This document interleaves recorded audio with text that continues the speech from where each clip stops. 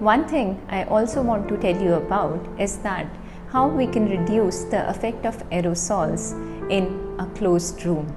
So, if that room has large windows and doors and we allow ventilation to happen, it can dilute the effect of aerosols. So, what is its application in our day to day life? If we have to go out, for example, to eat in a restaurant, try to go to a restaurant which has large windows which can allow cross ventilation, or you should uh, go to a restaurant which offers outdoor eating so that you can sit out and eat. Try and spend as less time as possible in closed spaces with people outside your family to prevent aerosol transmission of disease.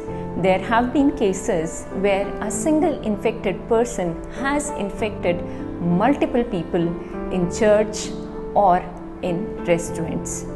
So, try not to spend longer duration of time in closed spaces with people outside your family where there is no cross ventilation available. If you have to travel in a car or a taxi driven by a driver who's if you are going in a taxi then what precaution you should take? You can keep the windows open to allow ventilation to occur which will dilute the effect of aerosol aerosol generation or aerosols. What else we can do is that we should try and spend time outdoors.